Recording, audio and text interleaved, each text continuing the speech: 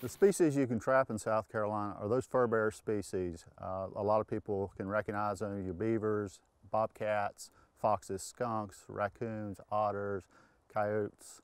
People trap for a variety of reasons. Some of them like the challenge of trapping because it, it can be uh, very exciting, very challenging, especially some of the, some of the more difficult uh, species to trap such as coyotes. Uh, some people do it for some income, uh, although South Carolina furs typically don't bring a whole lot of money, uh, but it does provide some income. Uh, there's a live market for live coyotes and foxes, uh, so some trappers participate in that. Um, some people do it for damage control reasons, uh, to protect livestock, to protect property, also now for wildlife management purposes.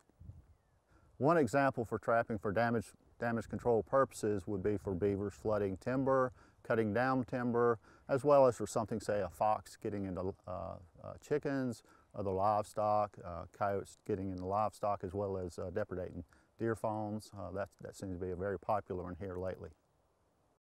Well, there's a commercial fur harvest license, commonly known as a, as a trapper's license. It also allows hunters with this license to commercialize what they take during the hunting season.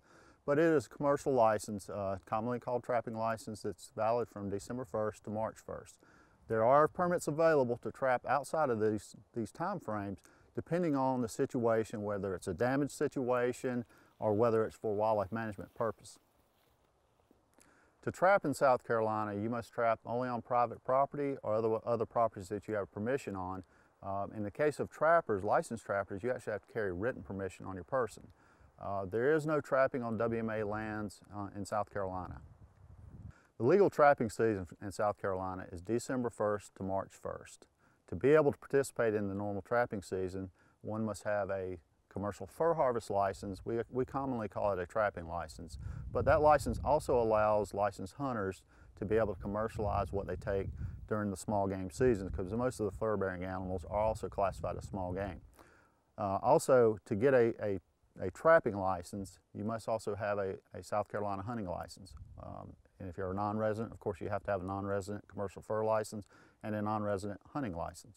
Now, to be able to trap outside of this, there's you're, you're, typically required to be trapping for a reason, and that could be for damage reasons or for wildlife management purposes, and we would issue a depredation permit, or in the case of something for wildlife management purposes, we have something that's relatively new we call a predator management permit. That permit allows one to trap for wildlife management purpose, say for example to control coyotes uh, on, on maybe a deer hunting lease. That permit is valid from March 1st to November 30th, or essentially that time outside of the normal trapping season. And if you want to continue to trap for wildlife management purposes during the normal trapping season, you must then purchase a commercial fur license. And looking at legal traps for South Carolina, you know, one of the first ones people are, are very familiar with is, is, your traditional live trap or cage trap. Uh, the law actually allows people to catch feral animals in live traps as well, so that kind of covers you know, local animal controls catching, catching feral dogs and cats, as well as, as uh, landowners that are interested in controlling hogs that are legally allowed to, to set uh, hog traps. Even though they're not a traditional cage trap, they are a live trap. Uh, but to set these traps, and, and, they come in a variety of configurations, we got a double door trap here, uh, simply raise the door and there's a pan in the back and there's usually a, a, a little catch on the door that raises the pan up and a bait is placed behind it. And of course, when an animal comes walking in, steps on the pan, the door falls, keeps them in the trap. Um, now these are placed um, in a variety of locations. Uh, a lot of times homeowners that are having issues around the home with raccoons or even squirrels um, would use a trap very similar to this. Now oftentimes when we're trying to catch raccoons, we might actually need to stake this trap down. You'd use a larger one like, like this bottom one here because raccoons sometimes will turn it over. And a lot of these traps, when they're turned over, the kind of tripping mechanism is sort of defeated. So you need to make sure that they're, they're upright. Um, most of the times with squirrels and some other smaller mammals, you really don't have to worry about that. Uh, sometimes too with raccoons, you may need to stake your bait into the back of it because again, especially if they turn it over, uh, not only they could reach in there, but sometimes when they go in these traps, they reach over the pan uh, and, and grab your bait and come out. But if you tie the bait down or somehow secure it to the back, they spend a little more time and eventually end up bumping the pan and, and, and setting this trap off and closing the door. these particular traps are, are, are just, just placed where you trap, where you set other kinds of traps. Um, uh, in the case of, of uh, other some kind of small game along trails, along pathways, um, in the case of raccoons, um, near water usually, hardwood drains or draws, places where you typically find raccoons. And of course, you walk around the property, you look for sign, you start seeing tracks, obviously that animal has been through there. And so that could be a good place to set these. Uh, it's a little easier, you just kind of set these out. You can camouflage in some if you, if you want to. Um, if you were trying to catch some of the other fur-bearing animals, say a fox, which, which is a little bit more difficult than a raccoon, you might do, do a little camouflage of it and cover it up some. Generally with raccoons, you can just set it out on the ground uh, where you expect the animal to be, be going. In addition to live traps, some of the other traps that are legal for use in South Carolina include your body gripping traps. Uh, this is a 330 size body gripping trap, uh, typically used for, for large, animal, large fur-bearing animals such as a beaver. Um, these come in a variety of sizes. Um, a 220 commonly used for otter, um, as well as the number 110 with only a single spring on the side that, that's uh, traditionally been used for muskrat. And again, they actually have some sizes in between, um, but these particular traps are designed to kill the animal and kill them quickly. Another legal trap for use in South Carolina, uh, very similar to the body gripping traps, they're only allowed to be used in water sets, is a snare uh, also called a, a cable restraint. And these, these, are, these are not powered. Um, these are set along the water's edge and the animal's movement actually pulls it tight around them to where the trapper can come back the next day for them. Again, they're, they're not legal for use on land. Um, some states allow it, South Carolina does not. Next, we look at the variety of foothold traps. These are uh, live restraining traps designed to catch the animal by the foot and hold them there until you come back the next day. Um, the largest legal trap size you can use in South Carolina is a five and three quarter inches inside jaw spread measured from across the dog, which is this little device here when the trap is in the open position. Uh, on land, it's five and three quarters inches. On water, it's seven and a quarter inches. Uh, the reason for a larger trap in water is because a beaver has a much larger foot, um, and it's designed for, for use with beaver and water sets. Foothold traps come in a variety of different designs. Uh, this is a very common coil spring trap with an offset. You have a, a even more traditional long spring trap. This uh, number 11 um, is, is an older type design of a foothold trap. Very similar in its, in its uh, mechanism. It's designed to hold the animal by the foot. Um, they have rubber padded jaws like this number three soft catch. Um, again, a variety of different jaw types and designs. Um, you even have a, a wide offset such as this one, a laminated offset coil spring that has extra piece of material welded to the top of it. Uh, some trappers do that on their own. Most trap supply companies will, will actually furnish traps that way for you. Um, here's a, a, small number one, laminated with no offset. The jaws meet together. Uh, and here's what you would commonly see, a, a blank, not unmodified, this is a 1.75 uh, trap, coil spring trap. And, and again, looking at the sizes of, of the foothold traps, uh, typically you, you pick a trap based on the size of the animal you're trying to catch. Of course, larger animals such as coyote, you might use one that's number three soft catch, or in this case is an MB550. It's very common uh, and popular coyote trap. Um, Lastly, we have here is, is foot encapsulating traps. These traps are designed that the animal reaches in and pulls on a trigger to set it off. These are also commonly called dog-proof traps because if a dog or other animal steps into the trap and pushes down on the trigger, it will not go off. The animal actually has to reach in and pull. This is a duffer trap.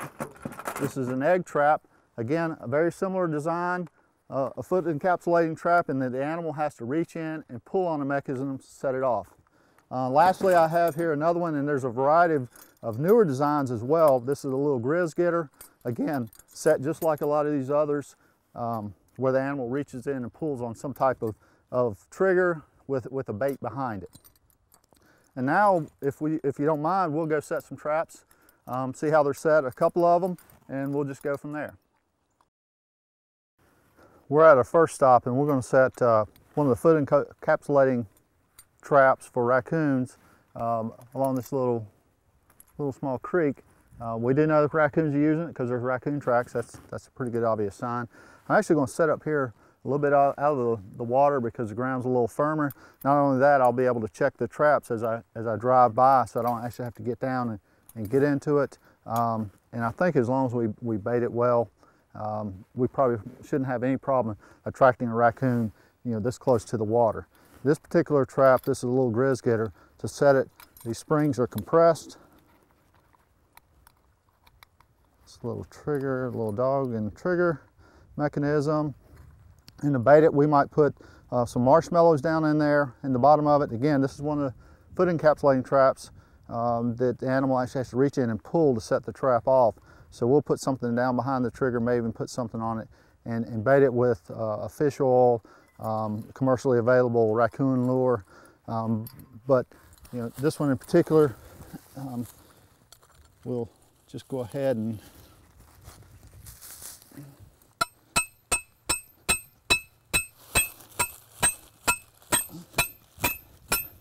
Let's take that down good so we know it's not going anywhere. And you can actually use this particular trap to kind of wedge it in the ground. And again, this animal, and you can even make it a little bit more visible. It's not as uh, um, necessary to hide things with raccoons. And again, this is one of those, the animal walks around here, he's gonna reach in and, and pull and get caught and be, be held right here when you come back the next day to check your traps. Again, we should be able to check it from the road so we're able to see. We don't necessarily have to come down here and visit a trap every time, uh, except every couple days we may want to come and rebait it. Make sure that's not gonna be turned over. Um, he'll be able to reach that in. Some people will angle it down a little farther. Um, uh, a decent sized coon will easily be able to look down in there. Uh, some people even paint these white to kind of stand out even more, um, but, but it'll work just fine the way it is. All right, we're gonna place a flat set. Um, at this location, we've got uh, a recently, or a couple years ago, replanted uh, pine stand. Uh, we've got a couple of roads coming together. Got some logging debris that I'm gonna use for a, for a backing. Um, there's some other down there, but I'm a little worried that somebody may run over it with a vehicle. So this is a little bit off the road, so I, I'm going to place it here. One thing I didn't mention earlier is that every trap in South Carolina must have some type of identification on it. Uh, the law requires that the owner's name and address be uh, either affixed to the trap or placed on the trap. Um, that can be with these commercially made available copper tags. Uh, can be etched on the trap. Um, depending on the kind of trap, it can even be written on it. Um, that also, that same law also allows the use of a DNR issued customer ID number um, that's, that's unique to the individual, it's printed on your license so it's easy to find. Now in this case, I've placed this, this trap tag right here below this first swivel. Um, that kind of keeps it out of the way of the animal. Um, and if somebody were to come by here, you can actually unroll it and see, see who's the owner of the trap. So we don't want to disturb, make, it, make a a big scene kind of like we would do with the dirt hole set on this flat set. So we're gonna kind of dig this just a, about the size of the trap itself to where it fits down in there and we don't disturb a whole lot of the other ground around it.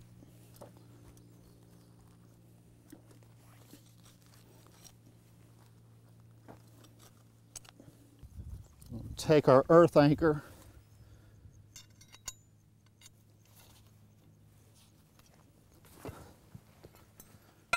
drive it down the middle of the trap bed.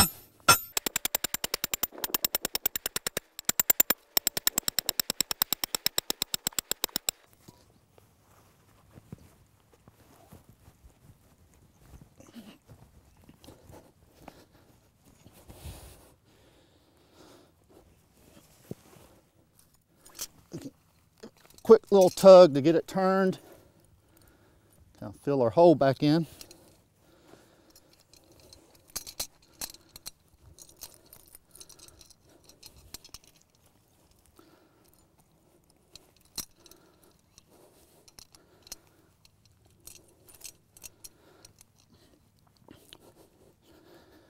Trap kind of locked in there as good as we can.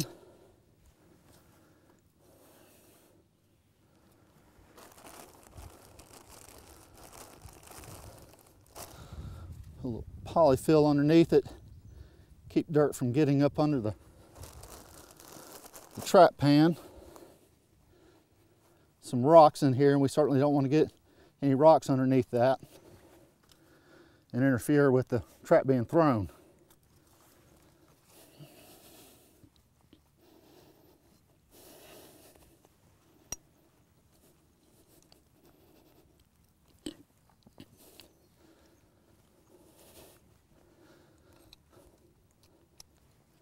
Again, it's imperative that this trap doesn't move when stepped on any portion of it. Otherwise, the animal is very likely to dig it up thinking something's underneath it. So on this particular one, we're going to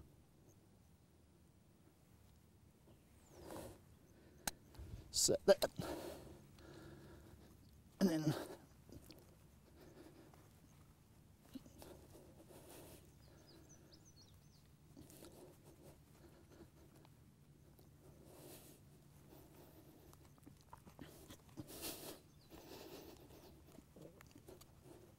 so where it doesn't move. And then like all the other foothold trap sets, we're going to cover it. And again, this, this particular set is kind of designed to, to be like it's not even there.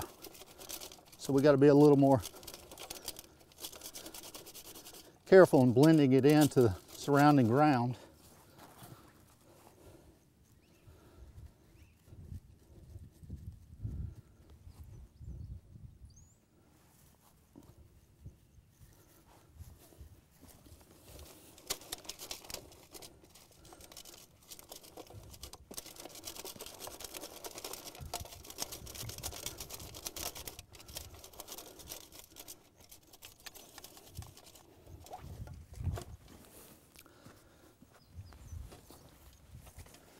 Now we're going to take some of this grass that we had from the original hole that was dug out and work to kind of blend it in to the surrounding area because we're not really advertising that there's something here. You can actually take yard clippings and dry them and uh, place them over your trap set if there's no, there's too much weedy or woody stuff.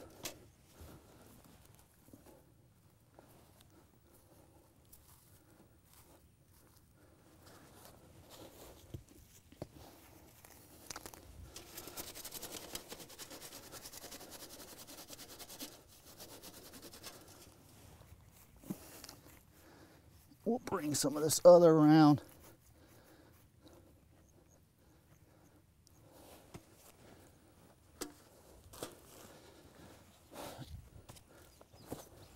And now before leaving, we would place maybe a, lure. You can place some baits here, although you gotta watch, sometimes gray fox might roll in it if it really smells bad. Um, maybe even some urine, um, because uh, coyotes being like other canines, walk around, they will urinate on, on things to kind of mark their territories. And so some lure, some urine placed on here, and as the animal comes through up and down the road here, catches a whiff of that, he's going to want to come and investigate it and hopefully uh, set your trap off. Now, as far as what to do when you, you catch a coyote, um, you know, you can shoot it in a trap with the 22.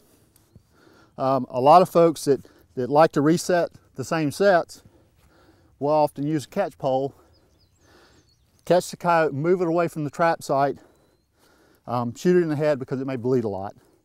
And that way you don't contaminate your, your trap a whole lot. And you reset the trap right in the same spot. And now we're going to look at setting a, a trap for a coyote. And we've, we've kind of picked our location here.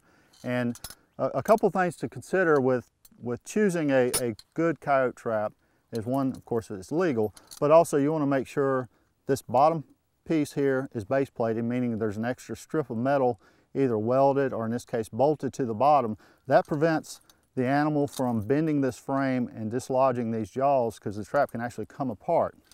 Also, as you can see, this, this particular one has three swivels on it, which allows a lot of movement for the animal. These are, this is a heavy duty chain, um, very thick swivels that can't be bitten into and bent. Um, uh, this, this particular one um, allows for double staking. And while we're on that subject, um, it, it's imperative that you stake a coyote trap down extremely well because again, they're, they're larger animals than what some people may be used to catching. And not only that, with just a single stake, they can work the trap and work the trap and essentially pump a stake straight out of the ground. Now with the double staking system,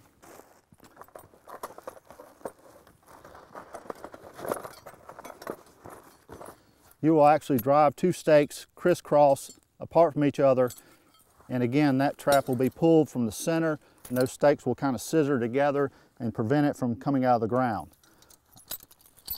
Now what a lot of trappers have moved to is some type of earth anchor. In this case, uh, an earth anchor with a chain. They come with um, they come with cables. There's a variety of different types of, of earth anchors. Um, some trappers will elect to just cut the trap and leave the anchor in the ground depending on the cost. Some will make their own cables. Uh, sometimes in heavy Piedmont soils, you can't get the anchor down quite far enough. So in that case, some people like to use a chain because it, it has the ability to lay down as opposed to, to uh, sticking up if you don't get it quite far enough in the ground. So we're going to set a dirt hole set here. And what we're going to do is uh, get some kind of backing. We're going to make a hole at about a 45 degree angle in the ground. Now we can make that hole in a variety of ways, really cheap with a little garden trowel. Um, we have a, a trapper's trowel, which long handle lets you really get down in there. Here's another device for punching a hole. You can punch that down in there and make your own dirt hole. Um, a lot of trappers have gone to earth augers simply because it's faster.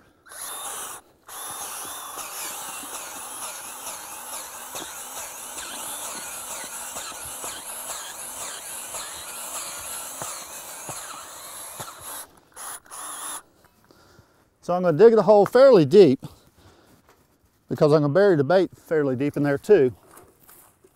And we'll take this dirt and use it for later. And we choose a backing.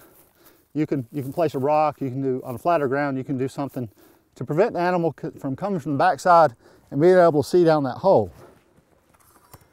Now we're going to take some type of digging device and dig a trap bed. We'll place all this dirt in here.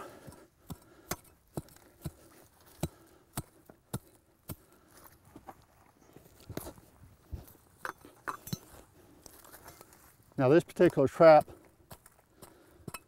trap set is, is a pretty visual in that we want it to look like something's been here. So we're gonna place it eight or nine inches, maybe a little bit offset, because the animal's foot's not in the middle of its body.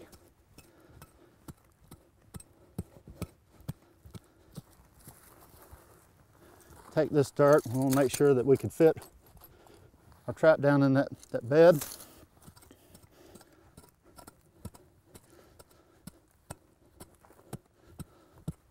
And also that we have room to bury our anchoring system, which we're going to put down in the bottom of it. So in this case, we're going to attempt to drive this earth anchor in the ground.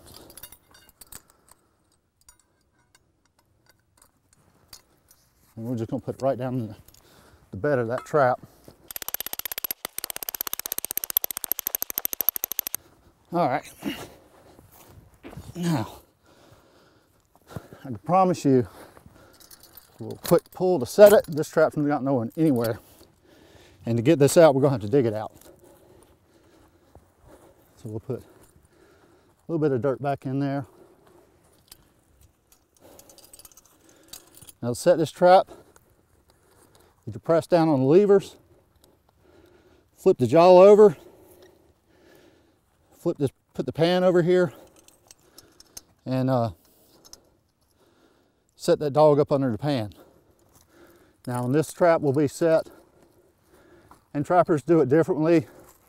A lot will have the dog facing the hole. Some will have it this side. Some will have it cocked at 11 o'clock, 1 o'clock. Uh, I'm just going to set it facing the hole. And in this case, we're going to want to bed this trap good so it doesn't rock. This particular trap has a night latch. And what that is, is an actually a little groove cut into the dog, this piece that holds the jaw down. And so as the pan is moved into set position, it'll make an audible click and that pan will sit nice and flat. You don't want the pan sticking up like it is now, it's sticking up. You don't want it sticking like that, dirt will get up under it. And of course, it has a lot longer travel. An animal stepping on that and all that long travel, he's liable to jerk back. Now we don't want a bunch of dirt to get under here. So there are commercially available little foam pads that you can stick under here. Um, there's trapper caps that you can place over to help you set it. Keep dirt from getting under that. A lot of trappers have moved to cheap polyfill that you can get at local department stores that you can place under there and that prevents dirt from getting up under the trap because it gets up under that trap and as, as the pan pushes down it may not be able to, to fire the trap. Now with the loose jaw flipped up we know we can kind of work with this trap to help bed it. We don't have to worry about it catching us.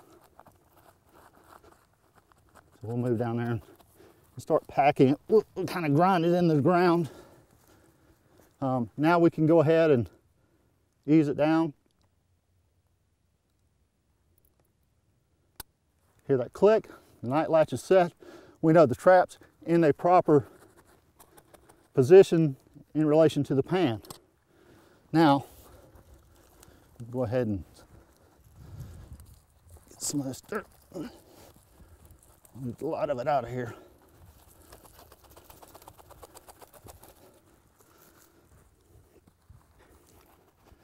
And we want to pack and pack so as we get no movement of the jaws.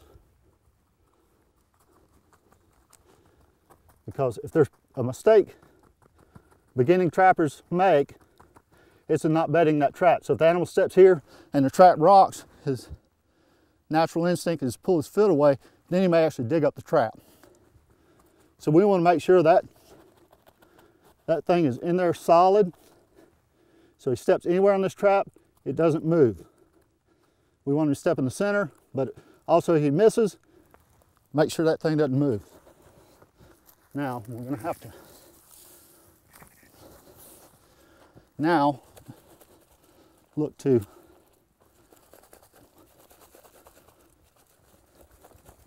to cover our trap.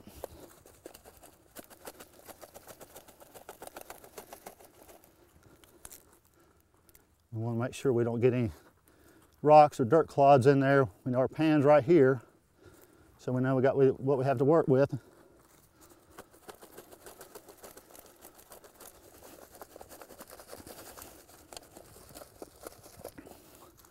We want it to look like something has come in here and dug. So we're okay with a bunch of dirt sticking out the front here. Now again, if we were trying to catch fox or something else, we'd probably put the trap a little closer to the hole. But in this case, we know our pan's there. We might use a couple of little clods and not get too crazy. Um, like that one. Just to try to maneuver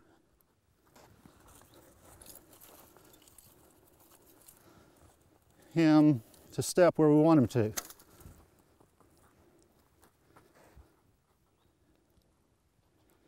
Again, we, we, we actually want our trap bed to be a little bit lower than, than the surrounding so that the natural instinct or natural step is, is a little bit down. And now we may brush some of this away a little bit.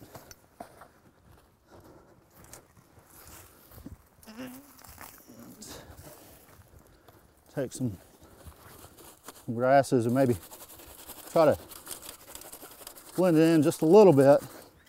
Make it look like it's been here a little while.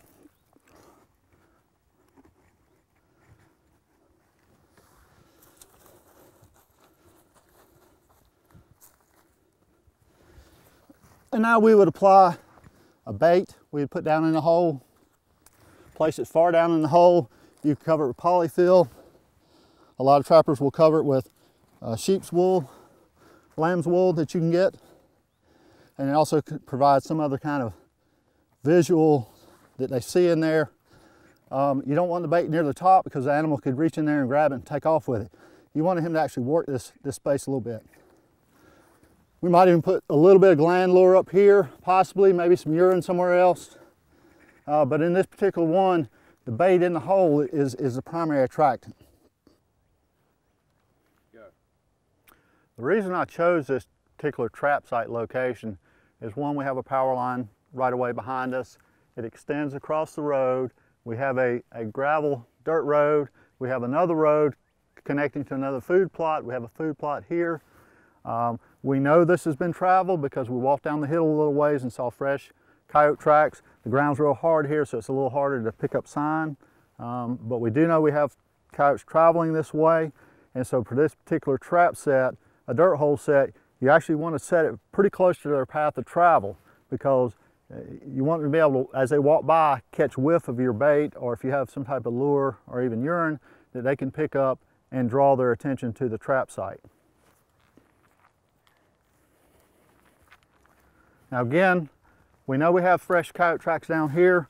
We, we've placed our trap in their line of, of travel um, so with the hope that he picks up any bait that we have coming, scent, scent of the bait coming from the trap. We would probably also set a, a, flat set, which would be very similar to this. There'd be no hole, and we would actually blend in the background to make it look like there's no uh, actual dirt there.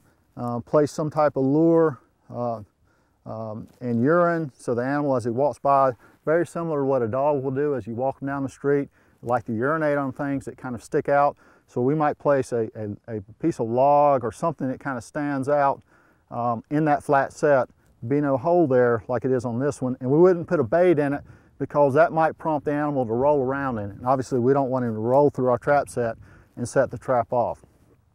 So in the case of we've, we've actually trapped an animal in our trap site, you know, when the trap has gone off, um, we would want some type of catch pole, and you can create your own or make your own out of galvanized pipe um, with some wire run down through it and looped around where you can have some type of control where you can put the loop over the animal's neck and press down and hold it. And in the case of the animal we would want to let go, we would hold it, step on the levers, release the tension on that jaw, and the animal could come out. Say if we were only trapping for coyotes, we caught a fox, we caught a bobcat and wanted to let him go. I can promise you if you catch bobcat, you're going to have a catch pole because He's not going to be happy being in that trap and he's going to probably want a piece of you. Um, in the case of uh, if we happen to be trapping around homes and you do catch someone's dog, you can release them unharmed. These traps are not designed to break legs or the animals don't chew their feet off, otherwise all you'd catch is feet. Um, this particular trap also is a BMP trap or best management, uh, best management practice trap, which is nationwide trap testing done by the Association of Fish and Wildlife Agencies, so we know it's a, a safe, effective trap for use on coyotes. Now by law, we have to check these foothold traps once daily from the period of two hours before sunrise to two hours after sunset. We're allowed now to check them after dark, but you do have to visit a trap, um, a dry land set, a foothold trap once per day. Doesn't matter how many times you check it at night, you have to check it at least once between that period of two hours before sunrise to two hours of sun, after sunset. And one of the other reasons I chose this particular location is it's close to the road. So we can drive down in our vehicle, we can look to see if the trap's been sprung or if we have an animal without actually coming, stepping walk over here and maybe contaminating the area with even more scent. Um, in areas where um, people are commonly going, uh, on farms, on, on, clubs where people commonly are, I don't worry a whole lot about um, scent to a degree. You know, obviously I was on a kneeling pad. I'm using gloves. I would take these gloves off if I was going to apply any bait or lure because I don't want them on the outside. I don't want to get any bait on the trap itself, otherwise the animal might dig it up. But I don't want to have to come and walk here and, and fool with it every day. And I may leave this trap out for a week and a half, two weeks of no activity. Um, after a week, I might come and maybe freshen up the bait a little bit. Um, but understand that a coyote has a very large home range. It may not visit this trap but every so often. It may be days in, in, month, in between times that it visits. And again, I would probably set another set somewhere very close by in case two are traveling in pairs. It's not terribly uncommon for people to double up, um, and it's always good to have another trap set close by. Um, but again, I chose this location because I got a bunch of roads intersecting. I actually had a nice kind of a natural cutout in the, in the area here. We know coyotes are traveling up and down this road. We have fresh sign here, even though the ground's very hard. And so that's, that's one of the biggest things that you need to do is, is place the traps in the areas where the coyotes are. For more information about trapping and fur bearers in general, please contact the South Carolina Department of Natural Resources website, or you can contact the wildlife section at 803-734-3886 and ask to speak to someone in the Fur Bearer Project.